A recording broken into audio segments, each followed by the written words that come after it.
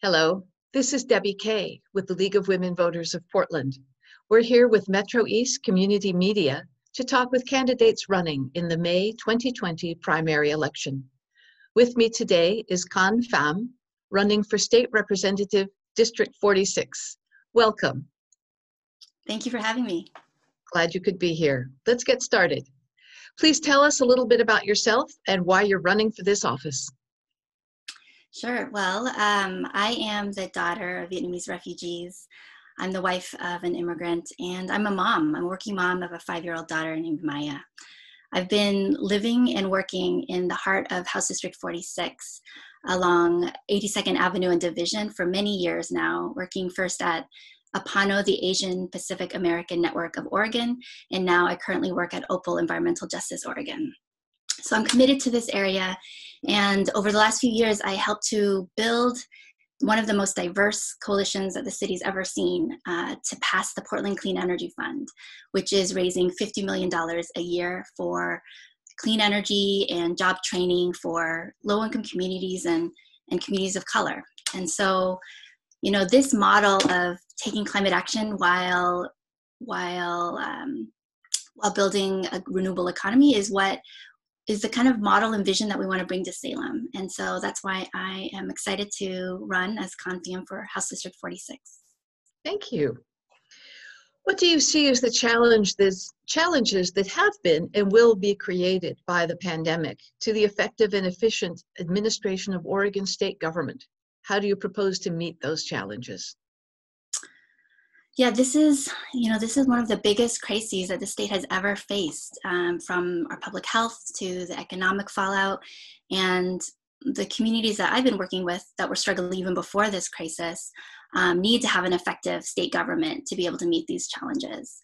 So, in terms of your question about administration, I would say that this is um, an opportunity for us to look at new technologies, online technologies that allow allow both legislators and also community members to engage with our, uh, their, with our state government. Uh, we've, we've long known that rural Oregonians and working class, low income communities, communities of color have struggled to be able to, to drive to Salem to access our state legislature.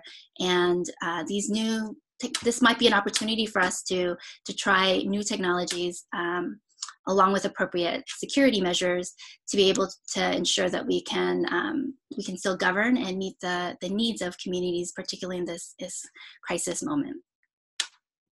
Thank you. Traditionally, the legislature has conducted the decennial redistricting process, which will occur next year in 2021. Are you comfortable with the current redistricting process? And if not, how would you seek to change it? Well, currently, uh, with the, the current redistricting process is done through our legislature, and we know that there are problems with having elected representatives decide the boundaries of their own districts. And at the same time, I think it's important to note that um, that redistricting should really elevate racial justice um, to ensure that the voices of Black, Indigenous, and people of color Oregonians not just voters, um, are fully heard and represented at the legislature and in Congress. Um, so we recently found out that because of coronavirus, um, our census is being delayed, and that means that our Secretary of State, not our legislatures, legislators, are going to just decide the boundaries of our districts in 2021. I am troubled, and I, I don't think it's wise to put that much power in a single person's hands. Um, those are some of my concerns about the the current redistricting process as well as in 2021. Thank you. What are your thoughts on cap and trade proposals intended to mitigate climate change? Are they a good idea or not? Why? Um, you know, climate justice is a is obviously a, a, core value of mine. I am I am concerned about the cap and trade. I'm i am on the record of in opposition because the results from California and other places have shown that cap and trade has not been an effective mechanism to reduce emissions in California, and it's harmed uh, low income Black and Brown communities in the US as well as globally. And my biggest concern is that it could prevent us from winning what we really need in terms of climate action if it because we spend so much time and political capital on it that legislators and and polluters can use this symbolic legislation to to refuse to pass bolder legislation. So, one of the key planks of my candidacy is passing an Oregon Green New Deal. We know that we need to take action on a range of sectors, um, including agriculture and forestry, which were not included in cap and trade. And I think that um, by passing an Oregon Green New Deal, we can create jobs through investing in 100% renewable energy, through reforming our highway trust fund, through regenerative agriculture and forestry, uh, to take a comprehensive approach to reducing greenhouse gas emissions uh, while also generating needed investments to help communities that are already experiencing the impacts of climate change and need help and investments to transition to a renewable economy. Thank you. What is your view of the suggestion that the leg legislature suspend collecting the taxes that will fund the 2019 Student Success Act?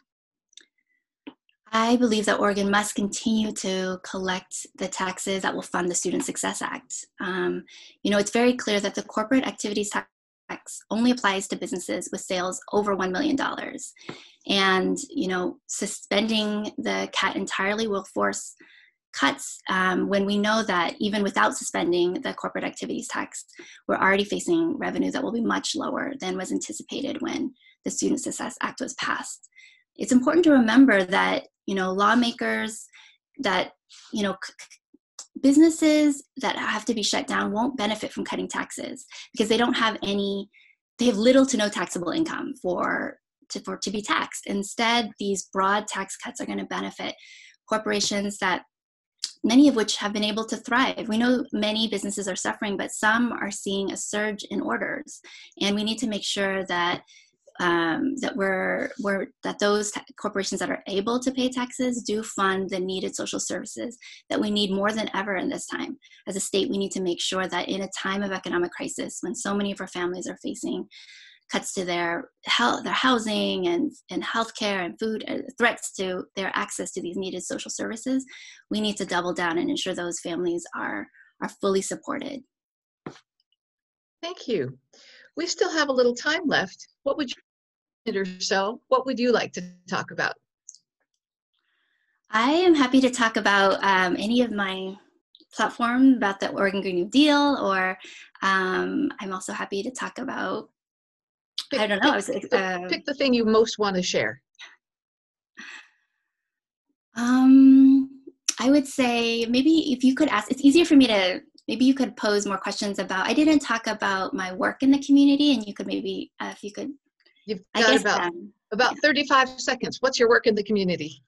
Oh, okay. So I have been working on housing issues to, to protect tenants from displacement in, in the Jade district where I've spent most of my my time and and this has involved uh, working with immigrants who are the who are vulnerable to the rising rents and for me housing justice economic justice and climate justice um, and jobs are, are all interconnected and we need to take a uh, a coordinated approach that recognizes the opportunities that the transition to a renewable economy represents. Thank you. This has been Video Voters Guide. The primary election is Tuesday, May 19th. Please be an informed voter. Visit vote411.org to learn more about the candidates and ballot measures on your ballot and exercise your right to vote. Thank you for watching.